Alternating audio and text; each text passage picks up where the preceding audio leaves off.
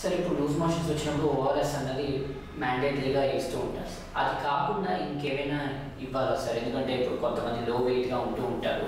వాళ్ళకి న్యూట్రిషన్ అంతా తక్కువ ఉంటూ ఉంటుంది అలాంటి వాళ్ళకి ఎలా ఇవ్వాల్సి వస్తుంది అంటే కొందరు పిల్లలు ఏంటంటే వాళ్ళకి ఏజ్కి తగ్గట్టు వెయిట్ రాదు పిల్లలు.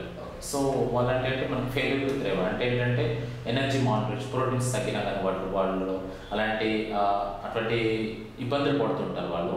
ఆ మాల్ న్యూట్రిషన్ పిల్లలు ఏంటంటే మనకి రెస్మాస్ అని ఉంటుంది. డబ్ల్యూహెచ్ఓ మనకి డబ్ల్యూహెచ్ఓ ఆర్గనైజేషన్ వాళ్ళు చెప్పింది ఏంటంటే మనకి వరల్డ్ హెల్త్ ఆర్గనైజేషన్ వాళ్ళు రెస్మాస్ అని ఒక లిక్విడ్ అంటే ఏంటంటే రీహైడ్రేషన్ సొల్యూషన్ ఫర్ ఈ సివియర్ రీహైడ్రేషన్ అంటే ఏంటంటే మనకి ఓఆర్ఎస్తోనే దాంట్లో కొంచెం స్టార్చ్ మీద కొన్ని మినరల్స్ యాడ్ చేసి వాళ్ళ కాంపోజిషన్ చెప్పారు మనకి.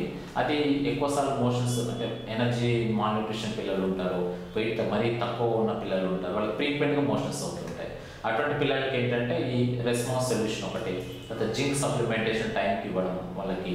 తర్వాత ఏంటంటే వ్యాక్సిన్స్ వన్ ఇయర్లో పిల్లలు అయితే మాత్రం రోటావైరస్ అందరికీ వ్యాక్సిన్స్ గవర్నమెంట్ అందరికీ అవైలబుల్ ఉంది మనకి వ్యాక్సిన్ తర్వాత మీజిల్స్ వ్యాక్సిన్ ఇవ్వడం నైన్ మంత్స్ డ్యూరేషన్లో మళ్ళీ సెకండ్ డోస్ ఫిఫ్టీన్ మంత్స్ ఆ టైంలో ఉంటుంది.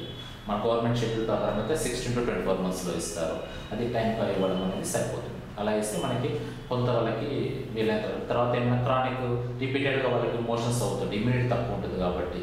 సో మదర్ ఫీడ్ అనేది కంటిన్యూ ఇవ్వడం వాళ్ళకి బ్రెస్ట్ మిల్క్ అనేది కంపల్సరీ ఆపకుండా వాళ్ళకి కంటిన్యూ చేయడం అనేది ఇంపార్టెంట్ సరే అయితే ఇప్పుడు క్లుప్తంగా ఇప్పుడు లూజ్ మోషన్స్ అన్నది చిన్నపిల్లలు కానీ లేదంటే పెద్దవాళ్ళకి కానీ ఇలా వచ్చినప్పుడు ఏం చేయాలి? ఏం చేయకూడదు? ఒకసారి వివరించండి మనకి ఏంటంటే ఈ మోషన్స్ డయేరియాకి ఏంటంటే ఫస్ట్ తల్లిపాలు అనేవి కరెక్ట్ మనకి ఖచ్చితంగా ఇవ్వడము.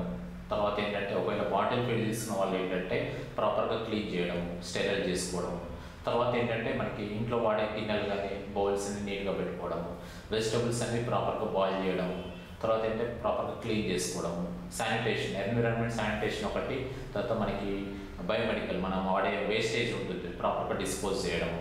ఇవన్నీ మనం చూసుకుంటే తర్వాత వ్యాక్సిన్స్ టైంకి ఇవ్వడం రోటా వ్యాక్సిన్ ఇలాంటివి. కొందరు ఏంటంటే ట్రీట్మెంట్ యాంటీబయాటిక్ వాడుతుంటారు మోషన్స్ రాగానే. మితిమీరిన యాంటీబయాటిక్స్ వాడడం వల్ల కూడా పిల్లల్లో మోషన్స్ అవుతుంటాయి. సో యాంటీబయాటిక్ అసోసియేటెడ్ డైరీ అంటారు. కాబట్టి ఏంటంటే అది వీళ్ళంత వరకు యాంటీబయాటిక్స్ ఓన్గా మనం వెంటనే వెళ్ళి తీసుకొని స్టార్ట్ చేయకుండా అవసరం ఉంటే డాక్టర్ని సంప్రదించి ఆయన సలహాతో వాడడం. కొన్నిసార్లు ఏంటంటే క్లైమేట్ చేంజ్ వల్ల అవుతుంటాయి. వైరల్ డేగా వాటికి ఏంటంటే మనం రోటా వైరస్ వ్యాక్సిన్ ఉంది కాబట్టి సరిపోతుంది.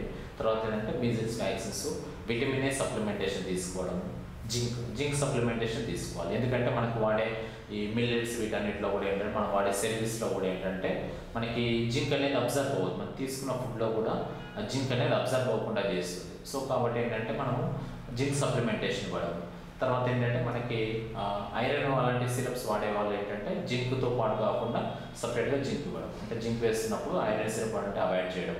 దీని ద్వారా జింక్ అబ్జర్ప్షన్ బాగుంటుంది బాడీలో. సో డౌట్ ఉంది అంటే మనకి డల్ అవుతున్నారు సరిగ్గా తీసుకోవట్లేదు అంటే వెంటనే మనము డాక్టర్ని సంప్రదిస్తే వీలైనంత వరకు మరి ప్రమాద స్థాయికి వెళ్ళకుండా మనము వీలైనంత తొందరగా రికవర్ అయ్యే ఛాన్సెస్ ఉంటాయి.